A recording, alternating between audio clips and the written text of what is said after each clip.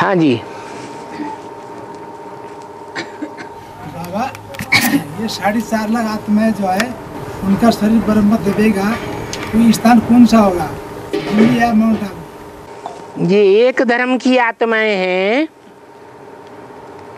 या अलग धर्मों के बीज तो हैं। अलग अलग धर्मों के बीज हैं। तो अलग अलग देशों से इनका कनेक्शन है। या एक ही देश से कनेक्शन है? अलग अलग अलग अलग देशों से कनेक्शन है। तो जिन जिन देशों से जिन जिन बीज रूप आत्माओं का कनेक्शन है उन देशों में जा कर के उनको सेवा करनी पड़ेगी या नहीं करनी पड़ेगी? है? क्या बोला है? सदगुरु निंदक है, है? ठौर न पावे। तो जो दूसरे धर्मों में कन्वर्ट होते हैं, वो सदगुरु की निंदा कराते हैं, तब कन्वर्ट होते हैं, या ऐसे ही कन्वर्ट हो जाते हैं। और वो निंदा संगम युग में कराते हैं, या सतयुग, त्रेता, द्वापर कल युग में कराएँगे। संगम की बात है, संगम में ही सदगुरु आता है। सारी दुनिया की सदगति करता है। ऐसे सदगुरु की निंदा कराने वाले सदगुरु के नज़दीक रहकर सेवा करेंगे। सदगुरु का जो ठौर है, कौन सा ठौर है सदगुरु का? है? सदगुरु की ठौर है मुक्ति। और जीवन मुक्ति मुक्ति माने परम धाम, जीवन मुक्ति माने सुखधाम। तुम बच्चे परम धाम को इस सृष्टि पर उतार लेंगे। तो इस सृष्टि पर ही वो साकार सदगुरु दलाल।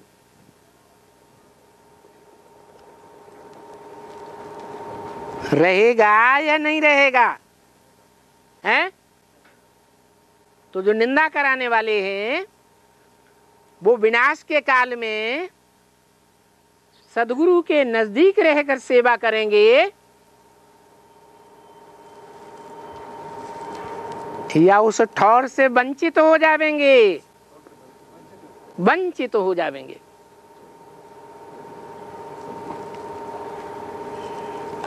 जब बम फटेंगे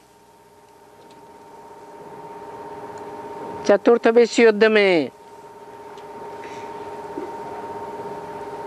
तो सारी पृथ्वी डोल जाएगी।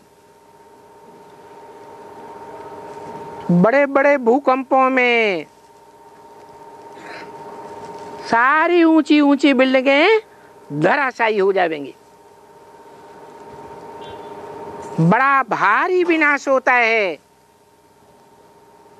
भूकंप से।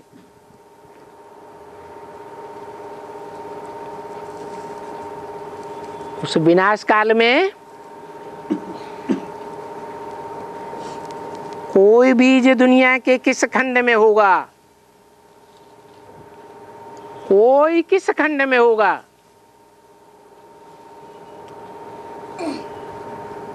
ज़ोर से विस्फोट होने के कारण समंदर का पानी खोल जाएगा उबल जाएगा।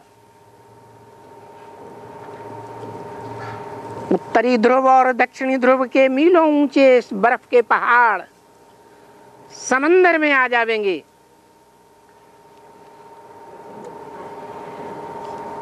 ढेर सारा भाप बन करके ऊपर उड़ जाएगा। दुनिया को चारों तरफ़ से भाप घेर लेगी।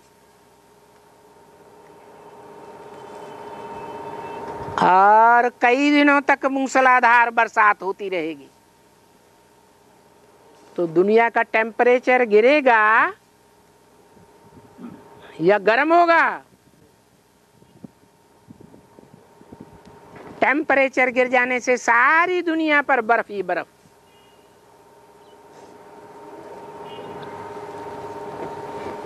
कोई कहाँ फ्रीज होगा? कोई कहाँ फ्रीज होगा?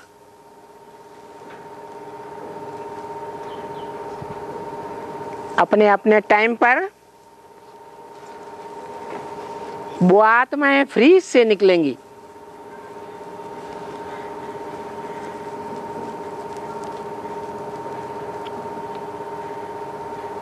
और लंबी लंबी यात्राएँ करने के बावजूद भी अपने अपने टाइम पर कोई सतयुग के पहले जन्म में, कोई दूसरे जन्म में, कोई तीसरे जन्म में, कोई आठवें जन्म में। उस संगठन के खिंचाव के कारण यात्रा करते करते अपने ठिकाने पर पहुँच जाएँगे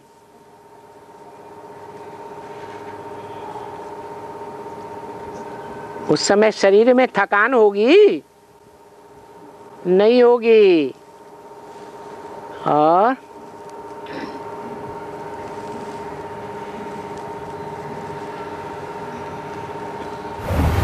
सदगुरु के आसपास रहकर सेवा हैं?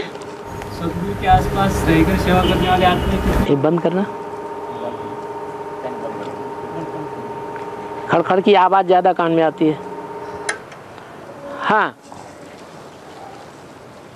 जो अंतकाल में हाँ। सदगुरु के आसपास के रह करके सेवा करने वाले आत्माएँ कितने रहेंगे? कितनी रहेंगी?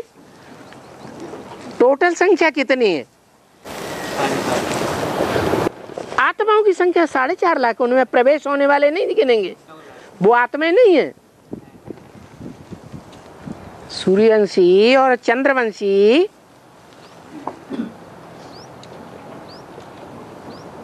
दोनों मिलकर के राजधानी बनेगी ना? तो आत्माएँ तो नौ लाख हैं। और शरीरदारी साढ़े चार लाख। हाँ तो अब?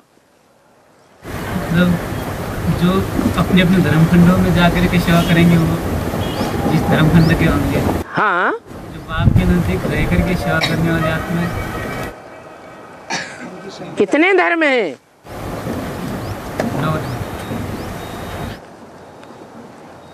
दुनिया में आज भी नौ धर्म हैं। बाकी तो मठपंथ संप्रदाय आदि। और कितने लाख हैं? अरे नई दुनिया में कितने लाख हैं? हैं? नौ लाख? तो बंटवारा करो। हैं? अरे कितने होंगे? एक एक लाख होंगे? उनमें से आधे प्रवेश करने वाले और आधे शरीरधारी। हाँ। बाबा ने कहा है बाबा कि आत्मा की सारी कट उतरने पर हाँ। डायरेक्ट बाप से श्री कब के। हाँ। तो सीखने की बात मतलब अभी की बात है कि अठारह के बाद की बात है कट उतरने के बाद बाप कितने हैं? बेहद के। तीन बाप हैं बेहद के। कौन कौन एक आत्माओं के बाप है। हैं? एक आत्माओं के बाप। एक आत्माओं का बाप। मनुष्य का बाप। एक मनुष्य सृष्टि का बाप। एक पारलों की बाप। वही आत्माओं का बाप पारलौकिक बाप। तो दोनों के लिए लागू होगा बाप शब्द। और जो बाप है वो आत्माओं का बाप। साकार राम के बाप के बगैर रथ के बगैर कोई कार्य करता है? हैं? नहीं करता है। तो वो बाप, ज्ञान का बीज डालने वाले बाप के रूप में यज्ञ के याद में बाप। किसी को पहचान नहीं आया। जब बीज डाला जाता है, और वो बीज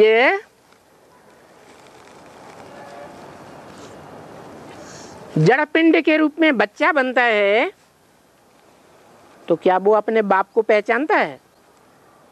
है? नहीं? तो उस समय किसी को बाप की पहचान नहीं थी। लेकिन बाप तो था या नहीं था? बाप था। वो ही बाप। फिर सन छिहत्तर से टीचर बन करके आता है। आता है या नहीं आता है? टीचर बन गया। टीचर बन करके जो गीता है उस गीता की व्याख्या करता है या नहीं करता है? करता है। तो वो टीचर हमारा बाप ही है, वो एक ही बाप वाली आत्मा है, या बदल गई? जो सन छत्तीस में आत्मा थी बाप के रूप में वो ही आत्मा टीचर के रूप में है साकार में या कोई दूसरी आत्मा है? हैं? वही ही आत्मा है। तुम्हारा बाप हमारा टीचर हमारा सदगुरु एक ही है। ऐसे नहीं सिक्सटी नाइन तक ब्रह्मा हमारा बाप था। फिर कोई बदल गया? नहीं। एक ही बाप एक ही टीचर एक ही आत्मा सदगुरु साकार रूप में। तो दोनों ही बाप के लिए बात लागू होती है या एक बाप के लिए बात लागू होती है? सन छिहत्तर में कौन सा बाप प्रत्यक्ष हुआ? है? मनुष्य सृष्टि का बाप मनुष्य सृष्टि का बाप प्रत्यक्ष हुआ। जो मुरली में बता दिया पहले ही इन लक्ष्मी नारायण का जन्म कब हुआ? आज से दस वर्ष कम पाँच हज़ार वर्ष हुआ। छियासठ में बोला तो छिहत्तर के लिए बात लागू होती है। तो वो नर से नारायण बनने वाली आत्मा कहो राम वाली आत्मा कहो, सुप्रीम टीचर वाली आत्मा कहो, जिसमें प्रवेश करती है, वो बाप प्रत्यक्ष होता है। बाकी सदगुरु नहीं। कोई की सदगुद्धि सदगति हो गई क्या? नहीं। तो वो सदगुरु वाला पार्ट जो है, अंत का पार्ट वो सदगुति होने की बात है। नई दुनिया में सदगति होती है या पुरानी दुनिया में? नई दुनिया में। नई राजधानी में सदगति होती है? उसे नई दिल्ली कहा जाएगा। आठ आत्माओं का परिवार एक छोटी सी दुनिया तैयार होती है। जिस छोटी सी दुनिया में सभी धर्मों के पूर्वज समाये हुए हैं, वो नई दुनिया राम बाप आकर के स्थापन करते हैं या शिव बाप स्थापन करते हैं। छिहत्तर में जो ब्राह्मणों की नई दुनिया एडवांस की तैयार हुई, वो मनुष्य सृष्टि के बाप के द्वारा हुई, लेकिन मनुष्य सृष्टि के बाप ने क्या नई दुनिया बनाई? है? नहीं बनाई। वो नई दुनिया तब बनती है जब बाप का दिया हुआ जो वचन है, विरुद्ध है, वो पूरा होता है कि तुम बच्चे तमो प्रधान से सतो प्रधान बनने में 40 से 50 वर्ष लेते हो। तो छिहत्तर से लेकर 40 वर्ष कब पूरे होते हैं? अठारह में पूरे होते हैं। तो वो है बाप भी है, टीचर भी है और सदगुरु भी है। तीनों ही एक रूप में प्रत्यक्ष होता है।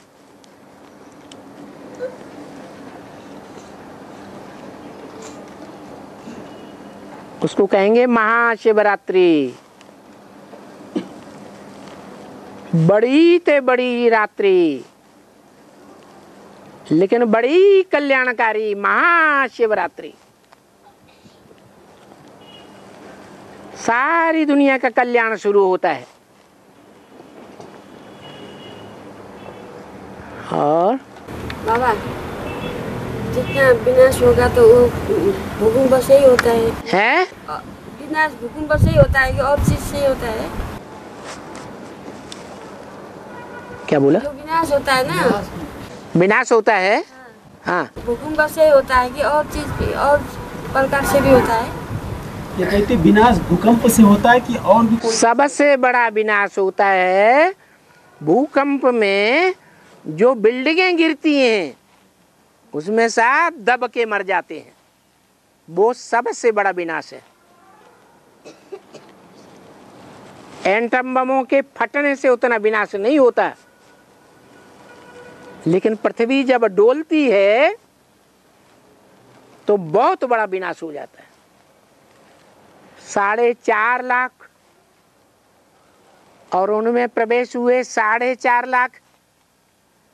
नौ लाख आत्माओं को कम करके पाँच सौ सात सौ करोड़ सारी मनुष्य सृष्टि का विनाश हो जाता है।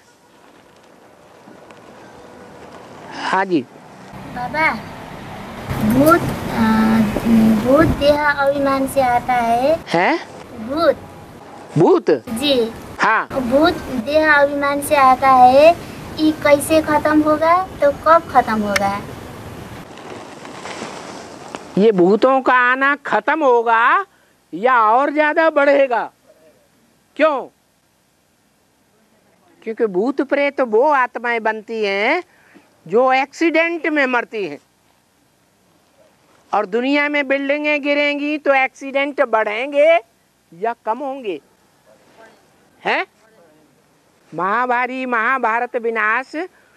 खून की नदियाँ वाला विनाश होगा, मार काट का। तो एक्सीडेंट बढ़ेंगे या कम होंगे? हैं? बढ़ेंगे। तो भूत प्रेत आत्माओं की संख्या बढ़ेगी या कम होगी? है? बढ़ेगी। देवभान भी दिन प्रतिदिन मनुष्यों में बढ़ता जाएगा या कम होता जाएगा? बढ़ता जाएगा।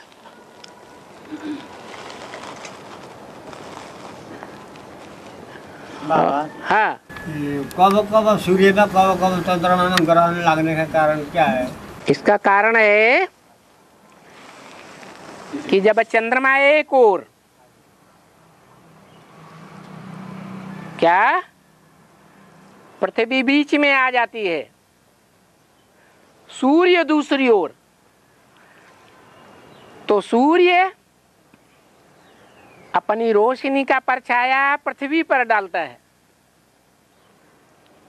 पृथ्वी का परछाया चंद्रमा पर पड़ता है। समझा? तो चंद्र ग्रहण होता है। वो स्थूल बात हो गई। अब ज्ञान की बात पर आ जाओ। ये ज्ञान सूर्य। ज्ञान सूर्य की रोशनी धरणी रूपी कन्या माताओं के ऊपर पड़ती है। ज़्यादा ज्ञान की रोशनी कन्याएँ माताएँ ग्रहण करती हैं या धंधा दोरी वाले पुरुष ग्रहण करते हैं। हैं? कन्याएँ माताएँ ज़्यादा ग्रहण करती हैं। तो उनका परछाया, उन कन्याओं माताओं का परछाया, चंद्रमा रूपी जो बच्चा है, बच्चा बुद्धि, कौन? ब्रह्म की सोल उसके ऊपर परछाया पड़ता है माताओं, कन्याओं का। नहीं समझ में आया? वो परछाया पड़ने से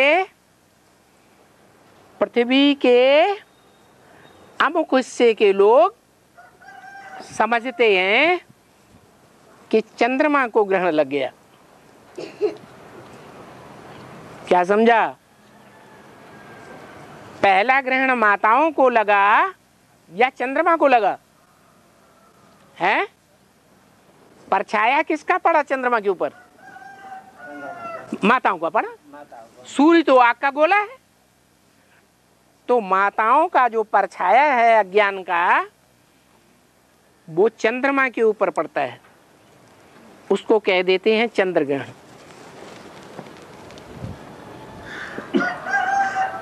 ये ब्रह्मा की रात कही जाती है, जब पूरा चंद्रमा ढक जाता है। तो अभी ब्रह्मा की रात है। फिर क्या होता है? सूर्य एक तरफ़। बीच में क्यों लाते हो तो सूर्य एक तरफ़। चंद्रमा बीच में आ गया। और चंद्रमा का परछाया पृथ्वी के ऊपर पड़ता है। क्या? तो पृथ्वी का ऊपर जिस हिस्से पर परछाया पड़ा वो लोग अंधेरे में आ गए या रोशनी में? चंद्रमा का परछाया पृथ्वी के जिस हिस्से पर पड़ा वो हिस्सा रोशनी में आया या अंधेरे में आया? है? अरे? अंधेरे में आया। अंधेरे में आया? तो वो अंधेरे में आने वाले मनुष्य समझते हैं कि सूर्य अंधेरे में आ गया। सूर्य का वो हिस्सा दिखाई नहीं पड़ता उनको। ये बात हुई स्थूल दुनिया की। अब ज्ञान की दुनिया में आ जाओ। ये है, ज्ञान सूर्य ज्ञान सूर्य की रोशनी, धरणी रोक देती है। धरणी माने कन्या माताएँ। उनका परछाया नहीं, वो चंद्रमा चंद्रमा रोक देता है। एक तरफ़ सूर्य, बीच में चंद्रमा। ज्ञान चंद्रमा जो है, वो सूर्य का रोशनी को, ज्ञान की रोशनी को रोक लेता है और उसका परछाया पृथ्वी वालों के ऊपर पड़ता है। तो जो पृथ्वी वाले पृथ्वी के परछाया में आ जाते हैं, उनकी गिरफ्त में आ जाते हैं, धरणी के अंधकार में आ जाते हैं वो समझते हैं सूर्य पर अंधेरा हो गया। सूर्य पर ग्रहण पड़ गया। तो बताओ, वो धरणी वाले अंधेरे में है या सूर्य अंधेरे में है? धरणी वाले अंधेरे में। ऐसे ही यहाँ हो रहा है। जिनमें लगाव झुकाव की कमज़ोरी आ जाती है। कन्याओं माताओं रूपी जो धरणी है, उनके प्रति लगाव, झुकाव पैदा हो जाता है। वो अंधेरे में आते हैं और खुद अंधेरे में होने के कारण समझते हैं सूर्य पर ग्रहण लगा हुआ है विकारों पर। अब विकारों का ग्रहण सूर्य को लगता है या मनुष्य को लगता है किसको लगता है? मनुष्यों को लगता है। राम वाली आत्मा तो ज्ञान सूर्य है। उसमें तो मुकर्र रूप से ज्ञान सूर्य प्रवेश करता है। वो भला अंधेरे में आ सकती है क्या? तो समझा। सूर्य ग्रहण क्या होता है? और चंद्र ग्रहण क्या होता है।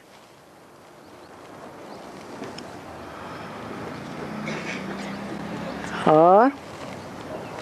बाबा हाँ। आज मुरली ने बोला है कि आदि में हम भरपूर रहते हैं। हाँ क्योंकि सतो प्रधान होते हैं। सतो प्रधान होते हैं। हाँ? अंत में जब अकाल पड़ेगा तो भूख मरेंगे। इसका बेहद का क्या राज संगम युग में अकाल पड़ता है कि नहीं पड़ता है? कैसे?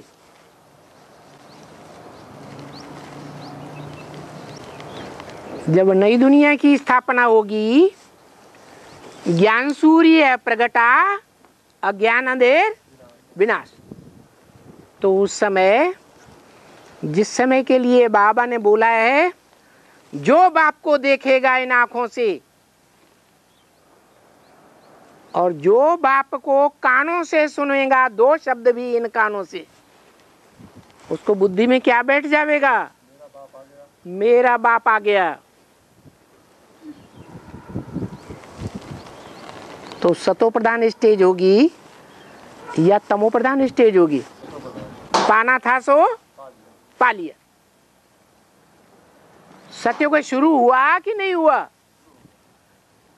मृत्यु लोग खत्म हुआ या नहीं हुआ? अभी क्या है? अभी आज निश्चय और कल निश्चय। तो अभी निश्चय माने जन्म। और अनिश्चय माने मृत्यु। तो आज हम मृत्यु लोक में हैं या अमर लोक में हैं? मृत्यु लोक में है। फिर जाप बाप प्रत्यक्ष हो जाएगा तो हम कहा होंगे? अमर लोक में होंगे, सतयुग में होंगे। ये हमारा आदि है। सनातन धर्म वाले बच्चों का। और सतयुग के बाद त्रेता त्रेता के बाद द्वापर द्वापर के बाद कलयुग का अंतिम जन्म होगा। और बाप भी आवेगा।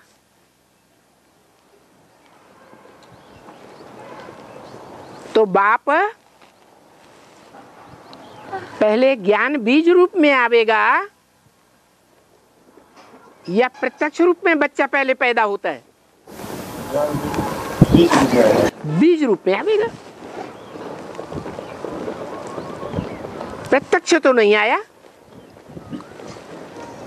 पहले ज्ञान आता है, या पहले भगवान आता है?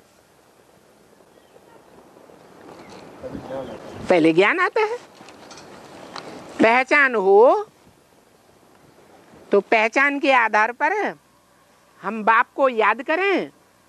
बुद्धि एकाग्र हो और एकाग्र बुद्धि में बाप समझे तो पहले ज्ञान आता है, बाद में भगवान आता है।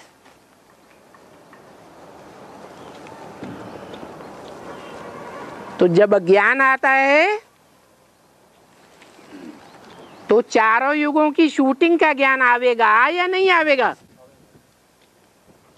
चारों युगों की शूटिंग में पहले जब ज्ञान में आते हैं तो बहुत खुशी होती है।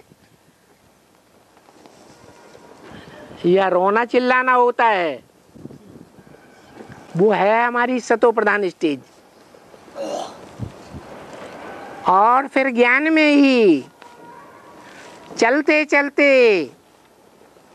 एक बाप की बात न सुन करके आपस में एक दूसरे की बातों पर विश्वास करके जब नीचे गिरते हैं, नीचे क्यों गिरते हैं? नीचे इसलिए गिरते हैं कि एक से सुनेंगे तो अभिविचारी ज्ञान। और अनेकों की बातें सुनेंगे तो बेविचारी ज्ञान हो जाता है। ऐसे बेविचारी बनते बनते बनते बनते कलयुग के अंत में हम एकदम नीचे उतर जाते हैं या ऊपर चढ़ते हैं। तो शूटिंग पीरियड में भी हम एकदम नीचे उतरते हैं।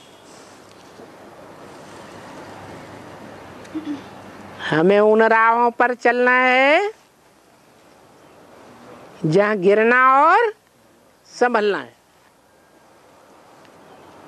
शूटिंग अंत तक होती रहेगी। जब तक नई दुनिया की शुरुआत नहीं होती है, पूरी राजधानी की स्थापना नहीं होती है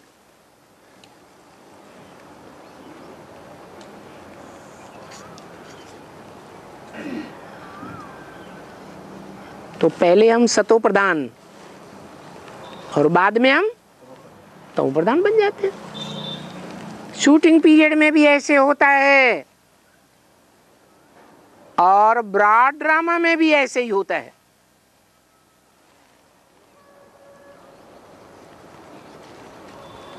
नहीं समझ में आया। अरे क्रॉस क्वेश्चन करो। अकाल पड़ेगा मतलब भूख मरेंगे अकाल का मतलब है यहाँ है योग की खुराक आत्मा की। जब बाप मिलता है, हमें निश्चय होता है बट्टी करने के बाद तो हमारा योग अच्छा लगता है, खुराक योग की अच्छी मिलती है या कम मिलती है? और जब तमो प्रधान स्टेज हो जाती है, दूसरों की बातें सुनते सुनते अच्छा ऐसा है? अरे हमने भी ऐसे ही सोचा था, ऐसा ही होता होगा। बाप की मुरली से टैली नहीं करेंगे। एक दूसरे की वाणी सुन करके उससे प्रभावित हो जाते हैं। बाप से प्रभावित होने वाली प्रजा नहीं बनेंगे। एक दूसरे की बातें सुन करके प्रभावित हो जा करके उनकी प्रजा बनते रहते हैं। तो नीचे गिरेंगे या ऊपर उठेंगे? नीचे गिरते हैं। तो योग की खुराक है? खत्म हो जाती है। अकाल पड़ जाता है।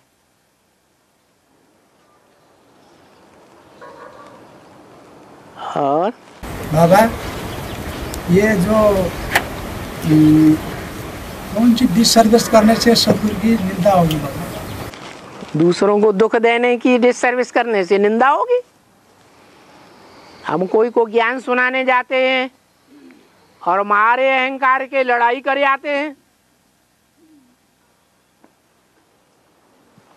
सुख देने गए थे या दुख देने गए थे? क्या किया? देह अहंकार में आ गए। समझने लगे, हमारा ज्ञान है। अरे, ज्ञान हमारा है या बाप का है? तो देवान हमें आना चाहिए। जो संपत्ति हम दूसरों को दे रहे हैं, वो हमारी संपत्ति है, कमाई हुई या बाप की दी हुई है? है? बाप की दी हुई है। तो ज्ञान देते देते दूसरों को दुखी देना, दुख करना, दुखी करना है या उनको सुखी बनाना है? सुखी बनाना चाहिए। यज्ञ में चोरी कर ली।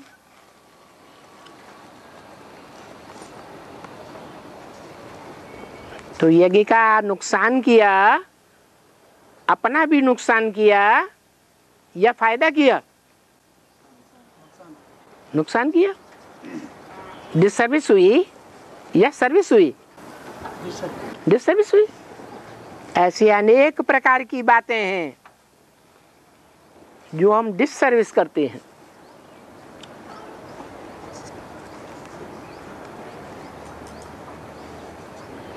और विनाश के टाइम में जो बर्फ़ में डूबते हैं ना बाबा वो किसी का शरीर डूरा होता है किसी का आँखा काना होता है किसी का पाँव से डूरा होता है वो वो बर्फ़ नहीं होता है ना। वो वो आत्मा आने से वो आँखा ताज़ा होता है वैसे डूरा के डूरा काना के काने होता है। मैं तुम बच्चों को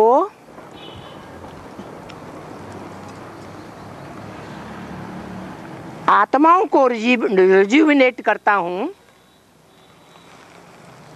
आत्मा रूपी बीज को नया बनाता हूँ।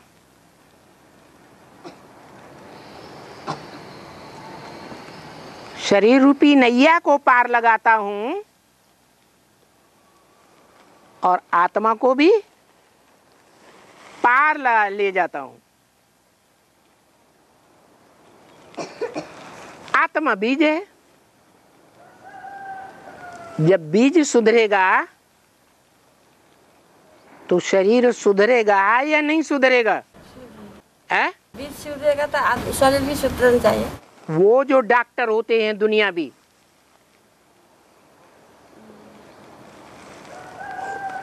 वो नई आँख लगाते हैं या नहीं लगाते हैं? लगाते हैं। डॉक्टर से लगाने से तो नहीं तो ये बेहद का बाप है। ये क्या अब अंधे को आँखें नहीं देगा?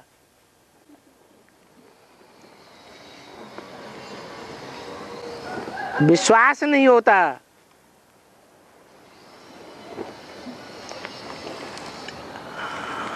और? बाबा हाँ। बाबा ने बोला है कि सौ को संदेश देंगे तो कोई एक ज्ञान में निकलेगा। हाँ जी। तो जो एक ज्ञान में निकलता है हाँ। संदेश देने वाले को ये समझना चाहिए कि अब सौ की संख्या पूरी हुई, इसलिए एक निकला है। नहीं। एक है बेसिक में संदेश देना।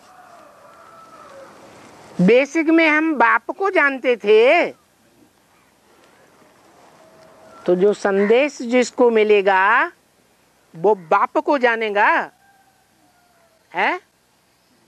तो प्रजा निकाली या राजा निकाला? है? प्रजा निकाली। और एडवांस में आने के बाद हम बाप को जानते हैं। क्या? कि साकार रूप में बाप हमारा कौन टीचर हमारा कौन, और सदगुरु भी हमारा कौन होगा?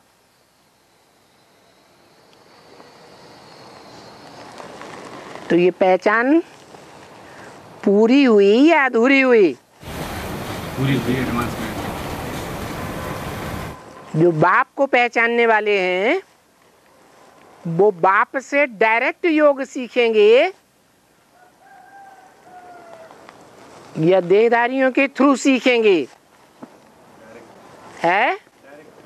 जो डायरेक्ट बाप से योग सीखते हैं वो है बाप के गले की माला।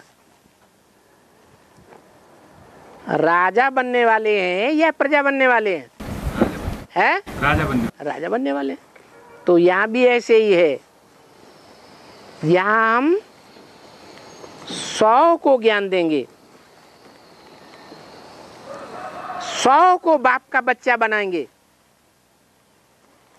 तो राजघराने में आने वाला कौन निकलेगा? एक या सौ? एक निकलेगा। हमारा प्रयास राजा बनाने का है। कम से कम राज घराने में लाने का है। लेकिन सब तो पौधे एक जैसे नहीं होते हैं। और बाबा रुद्रमाला के मन के विजय माला में एड होंगे हाँ? तो सेवा सर्विस के आधार पर पहले होंगे हैं? तो रुद्रमाला के मन के विजय माला में एड होंगे ऐड होंगे तो सेवा और सी सर्विस करने से पहले एड होंगे सेवा और सदगति? सेवा और सर्विस सी सर्विस करने से एड होगी पहले। किसकी सर्विस पहले होगी? है रुद्रमाला के मन की विजय माला एड होने के लिए। हाँ? कौन सा आधार के कौन सा सेवा के लिए आधार पर अरे पहले पहले आठ निकलेंगे। आठ में चार चंद्रवंशी, चार सूर्यवंशी होंगे या नहीं होंगे? तो जो चार सूर्यवंशी होंगे, उनमें पहले ज्ञान होगा या चंद्रवंशियों में पहले ज्ञान होगा पहले शरीर बन जाएँगे ज्ञान होगा? तो पहले रुद्रमाला बनी या चंद्रवंशी बनी? मतलब पहले पहले माला कौन सी बनी? माला तो रुद्र बनी। हाँ रुद्रमाला बनती है नंबर बार बनती जाती है और जब पूरी माला तैयार हो जाती है तो महाभारी महाभारत युद्ध होता है। और युद्ध की समाप्ति पर पूरी राजधानी स्थापन होती है।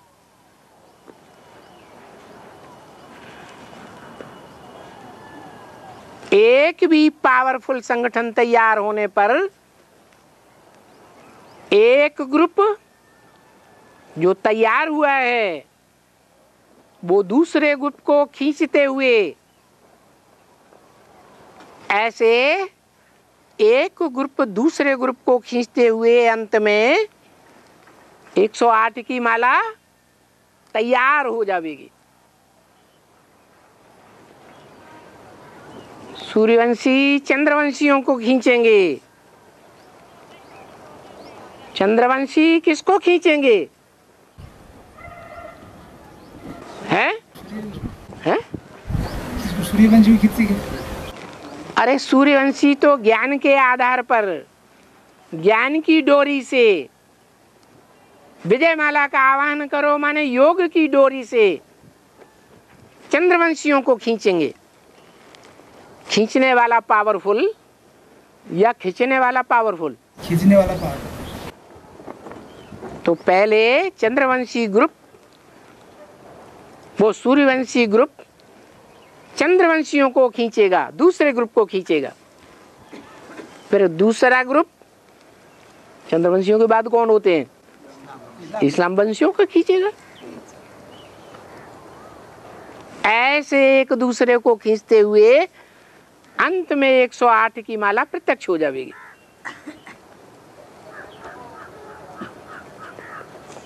और?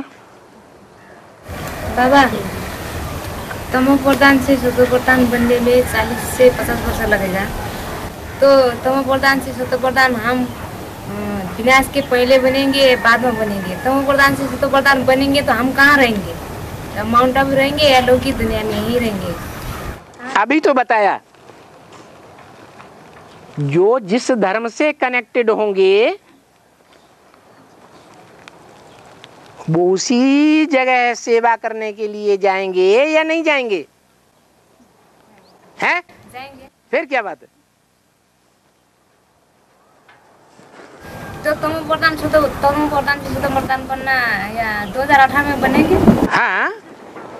तो 2000 2018 में आठ बनेंगे या सब बनेंगे? हैं? आठ बनेंगे फिर बाद में नंबर वार ऐड होते जाएँगे। दस वर्ष तक ऐड होते रहेंगे। 2018 अठारह आने वाली है। तो आने दो।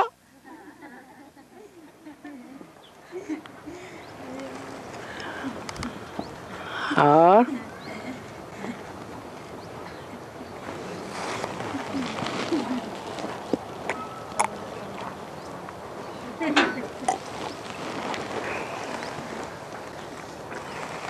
बाबा ये जो ब्राह्मणों की दुनिया में ढेर के ढेर तथाकथित भगवान निकल रहे हैं हाँ। इनके निकलने की है? इनके निकलने का सिलसिला कब तक जारी रहेगा?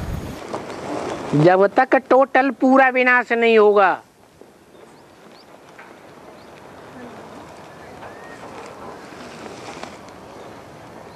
महाभारत होगा।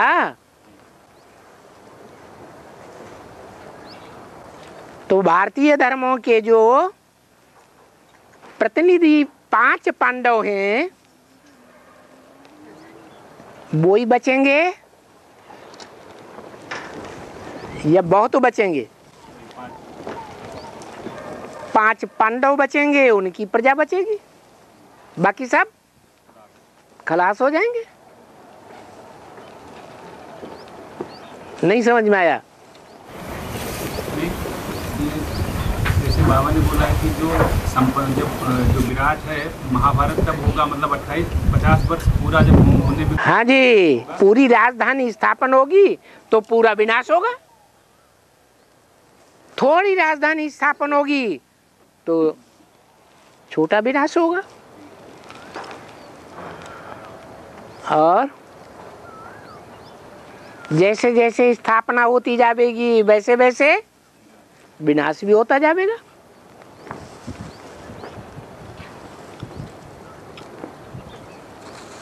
और?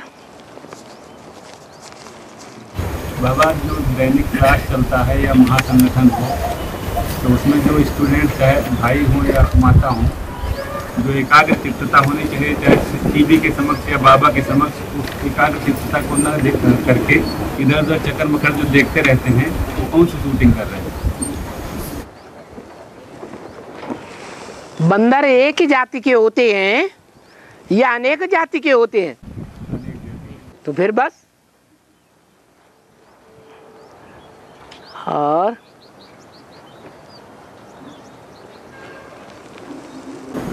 जो जो आत्माएँ जो दूसरे दूसरे जो धर्मखंड में सेवा करने के लिए जाएँगे हैं?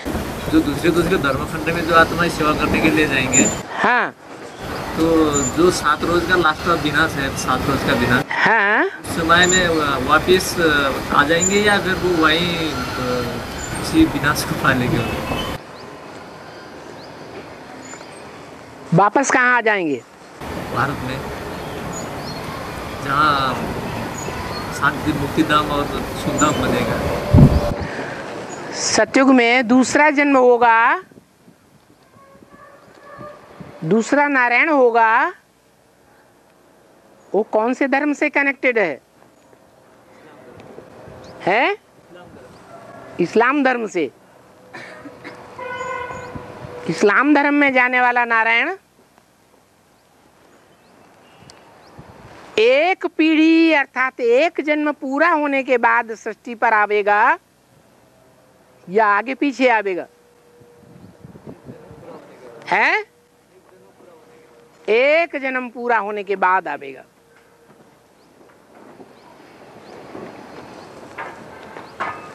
जो पहले आता है इस सृष्टि पर जो पहले आता है वो ज्ञान में भी पहले आता है या नहीं आता है? अरे सूर्यवंशी पहले आते हैं तो वो ज्ञान में भी पहले आते हैं। चंद्रवंशी बाद में आते हैं तो दूसरे नंबर पर सृष्टि पर भी आना होता है। सत्युग के अंतिम आठवें जन्म में आठवां नारायण परमधाम से उतरेगा। तो ज्ञान में भी आठवें नंबर पर आर्य समाजी आवेंगे या आगे पीछे आवेंगे? हैं? आगे पीछे? नहीं आवेंगे? उनका समय निश्चित हो गया। इसका मतलब बाबा जो आधारभूत आत्मा है वो विदेश दूसरे दूसरे धर्म आपने अपने धर्म खंडों में जाती है। आधार मूर्त दूसरे धर्मों के आधार बनते हैं तो उनके जो बीज हैं उनमें दूसरे धर्मों का तत्व नहीं होता है। होता है।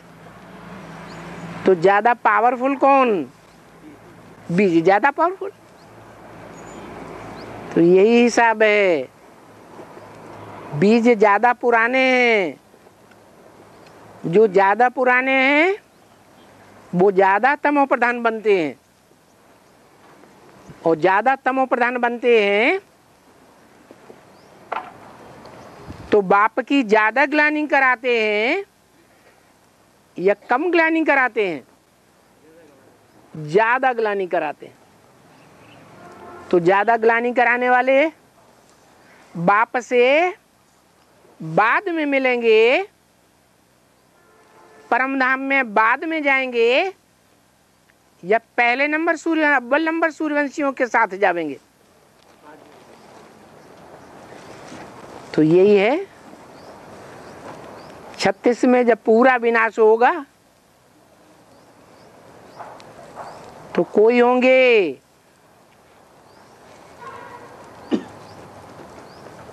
जो सूक्ष्म वतन में लास्ट में पहुँचेंगे।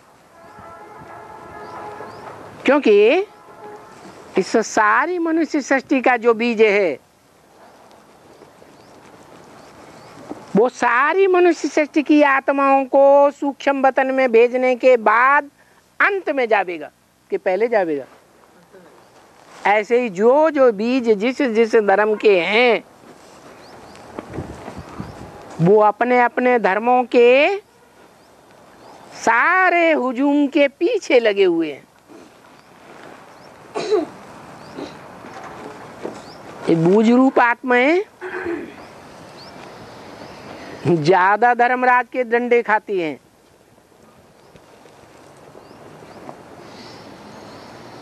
सौ गुना पाप दस गुना पाप कौन भोगते हैं? और जन्मों में एक पाप किया तो एक गुना पाप। और बेसिक में आने के बाद? है? सौ गुना पाप। और एडवांस में आने के बाद फिर उसका सौ गुना। तो महापापी की लिस्ट में आ जाते हैं। महापुण्यात्माओं की भी लिस्ट में थे, जब बाप को पहचाना। ये हुआ उनका सबसे बड़े से बड़ा गुण, जो बाप को ज़्यादा पसंद है।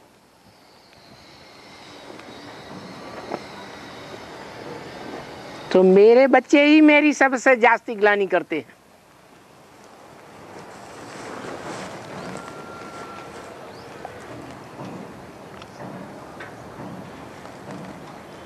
तो विनाश के टाइम पर नज़दीक आ जाएँगे या दूर रहेंगे?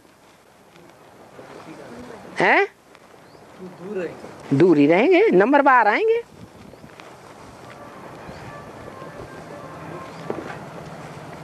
और? फिर उनका गिनती सूर्यवंशियों में नहीं होता होगा ना? वो लास्ट जो साढ़े चार लाख जो प्रजा तैयार होती है सूर्यवंशी है? नौ लाख। साढ़े चार लाख तो उनमें प्रवेश करने वाले मिलाकर जो नौ लाख प्रजा सूर्यवंशी तैयार होती है। हाँ नौ लाख जो है उनमें साढ़े चार लाख तो चंद्रवंशी हो गए ना? मतलब उसके लिस्ट में तो उनका नहीं है है?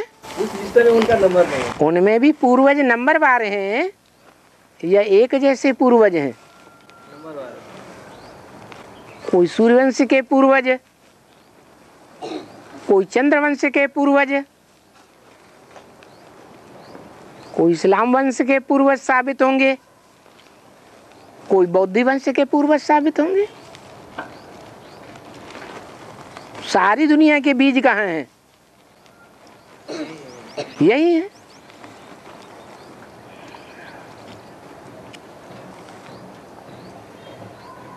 तो ब्राह्मणों के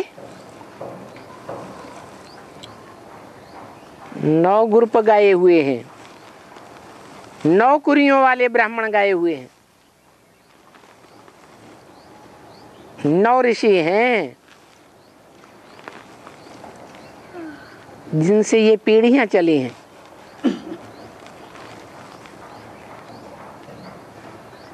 और बताया गया कि सारी आत्माएँ परम धाम जाएँगी। तो जो माउंट आबू में परम धाम बनेगा वहाँ की बात है कि मुक्ति धाम की बात?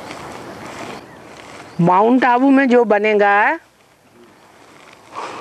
वो नौ लाख आत्माओं के लिए बनेगा जो अपने को आत्मिक स्थिति में स्थित कर देंगे या जो देवभान में रहेंगे। बस। अच्छा हैं? हैं? और जो और है उनको मुक्ति धाम की बात है। फिर?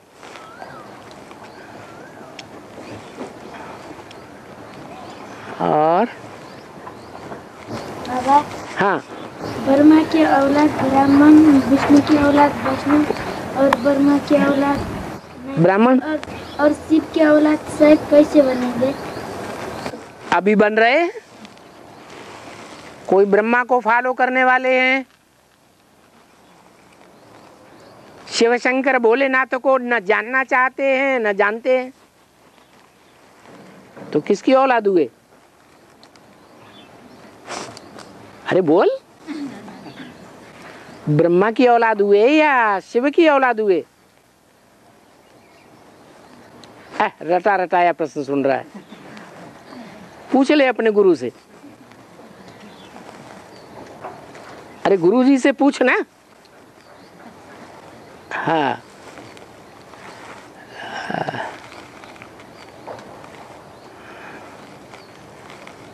और?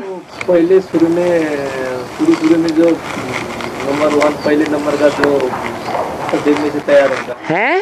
जो नंबर वन जो अष्टदेव में से पहले जो तैयार होंगे हाँ। उनके साथ साथ उनकी जो प्रजा है वो भी तो तैयार होगी ना बाबा?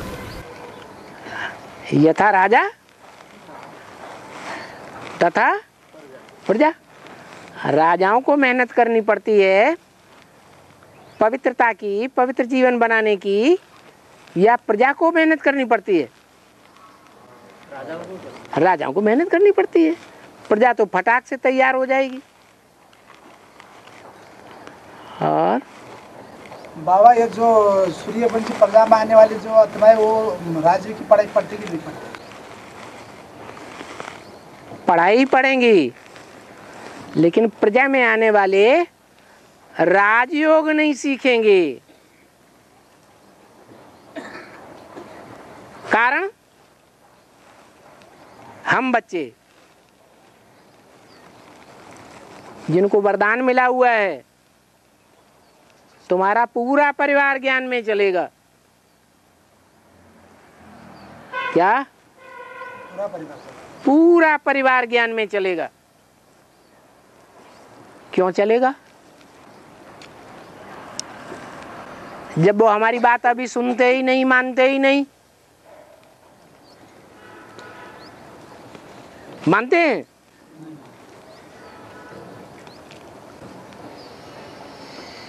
मानते नहीं हैं। जानते नहीं हैं। लेकिन हम बच्चों को अपने पास बुलाना चाहते हैं कि नहीं बुलाना चाहते? और ब्रह्मा कुमार कुमारी? है? वो, हैं? वो बुलाना चाहते, वो नहीं बुलाना चाहते।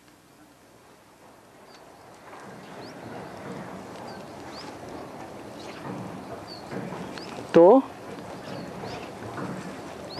जो हमारे लौकिक परिवार के भांति हैं। भले अभी ज्ञान का विरोध करते हैं। लेकिन फिर भी भू भू करके हम उन्हें अपनी बात सुनाते हैं या नहीं सुनाते हैं? वो फिर भी हमारे नज़दीक हैं। भले एक कान से सुनते हैं, दूसरे कान से निकालते हैं, लेकिन बुद्धि में बात तो रहती है। ये ऐसे कहते हैं। हैं? और बी के वाले? तो सुनने नहीं चाहते वो सुनना भी नहीं चाहते। धारण करने की तो बात ही नहीं।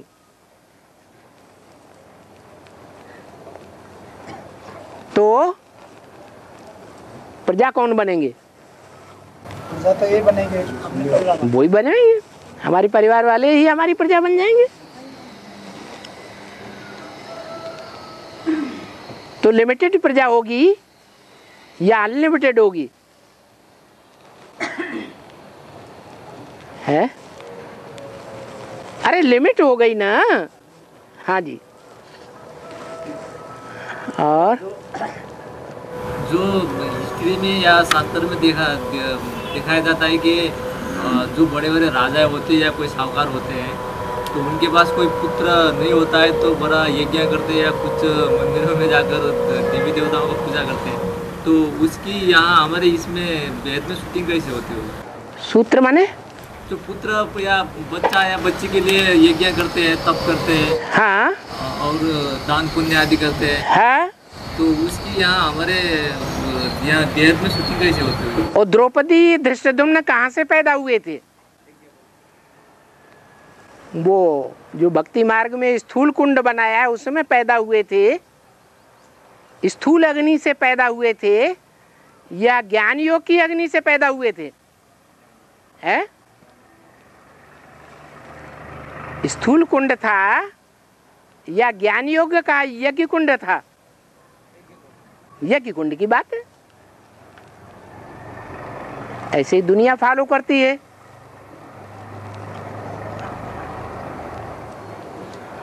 और बाबा हाँ। जो अंत तक शूटिंग चलेगी अट्ठाईस तक चलेगी कि छत्तीस तक चलेगी? ब्रॉड ड्रामा होने तक शूटिंग चलती है चलती रहती है या बीच में शूटिंग बंद हो जाती है? है? चलती रहती है। है? कोई भी ड्रामा की शूटिंग अंत तक चलती रहती है। जब तक कंप्लीट ना हो शूटिंग कहो रिहर्सल कहो रिकॉर्डिंग कहो जब तक कंप्लीट नहीं होती है, तब तक चलती रहती है।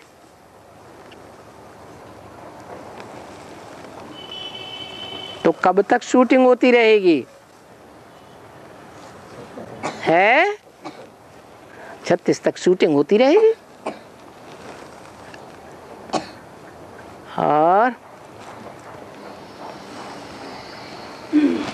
बाबा हम्म, हमारा जो शरीर का देह का मात पिता है वो बूढ़ा हो गया शरीर छूट गया है।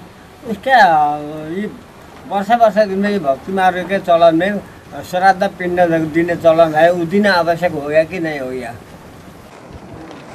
क्या कहा इन्होंने? अपने माता पिता को जो है पिंडदान देते हैं देना है या नहीं देना है कुछ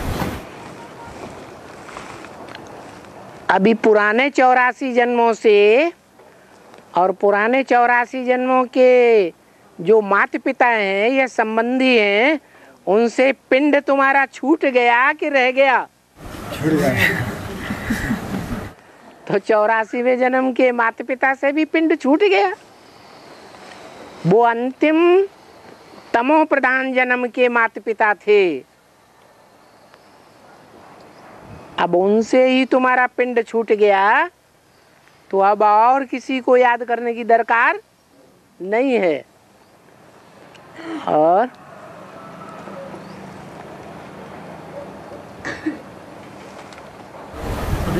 एक पॉइंट आया बाबा जो सन्यासी जो होते हैं वो गृहस्थियों में घुस जाते हैं। हैं? गृहस्थियों में जाकर घुस जाते हैं। जो सन्यासी होते हैं सन्यासी हाँ कहाँ घुस जाते हैं? गृहस्थियों में। गृहस्थियों में जाकर गृहस्थियों में घुस जाते हैं। कोई नियम कानून नहीं है। हाँ? इसका अर्थ क्या उनका कहाँ नियम कानून है? खुद गृहस्थी छोड़ करके आए हैं दुनिया छोड़ करके आए हैं जंगलों में जाते हैं मियाँ बीबी जो हैं बीवी छोड़ देते हैं बच्चों को छोड़ देते हैं फिर वो काहे के लिए इस संसार में घुस गए? जंगल से क्यों आ गए? उन्होंने तो छोड़ दिया था ना। अरे, उनका काम है त्याग करना। सम माने संपूर्ण, न्यास माने त्याग। इस संसार का उन्होंने सब कुछ त्याग कर दिया ना।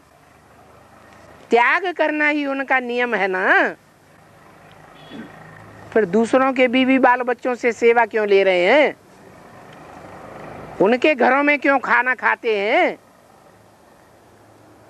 उनसे क्यों भीख मांगते हैं? क्योंकि उन्हीं के यहाँ उनको फिर जन्म लेना है। उनका कोई कायदा कानून नहीं है। और? अभी अंत में आकर के जो आत्मा है रोगी बन जाती है। है?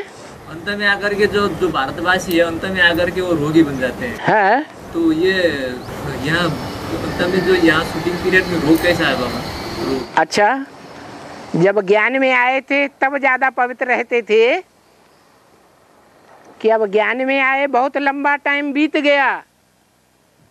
अब ज़्यादा पवित्र रहते हो? पहले पहले आए थे तो ये शूटिंग नहीं हो रही है? ज्ञान में आते हैं तो योगी बनते हैं। सत्व प्रधान स्टेज होती है। फिर ज्यो ज्यो औरों के संग के रंग में आते हैं, औरों की बातों में आ जाते हैं त्यों त्यों हम भोगी बनते जाते हैं।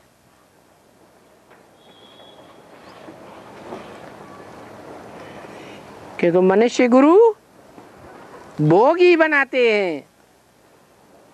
भांति भांति की बातें सुनाए सुनाए करके। और एक सदगुरु। क्या बनाते हैं? योगी बनाते हैं।